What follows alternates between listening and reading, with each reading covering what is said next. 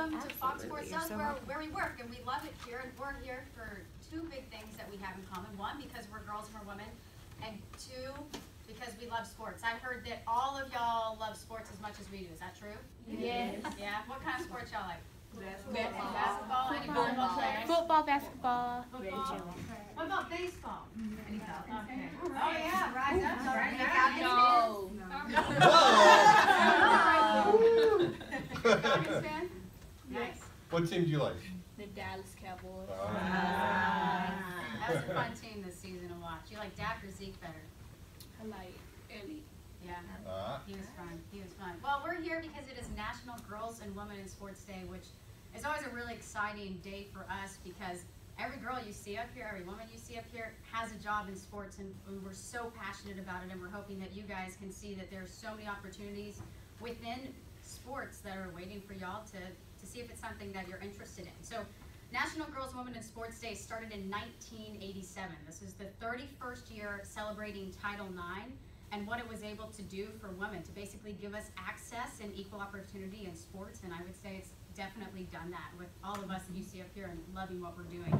Um, it's in all 50 states, so obviously you're here Georgia at a fun one at Fox Sports, which is a really cool opportunity for you guys. And we're going to show y'all the studio, we're going to show you the offices, all of the different jobs that we have to offer here.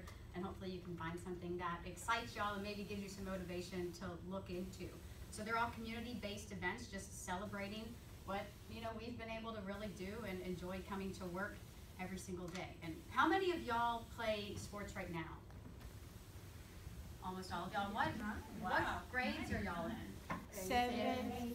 Okay, so when you get to high school, only forty percent of high school girls are currently playing sports. And I'm sure that you guys know since you play sports, how much of an advantage it just gives you as an overall person. It improves your leadership skills, your academic success, your economic success in the future, so many things. So we really want to focus on expanding those opportunities. That's the theme of this year, the 31st year, expanding opportunities in sports. And playing sports is the first thing to get you guys there. So we're excited to show you guys a little bit of our everyday lives here and, and talk some sports with y'all.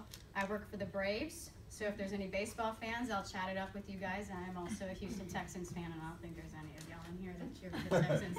Got my eye on you. That- that- That's not gonna work. I can just tell from looking at her. I know, she's staring at me, but. She, she's less entertained by you being a Texan fan than Oh, Falcons fan. Hey, y'all were good this season, though. We weren't.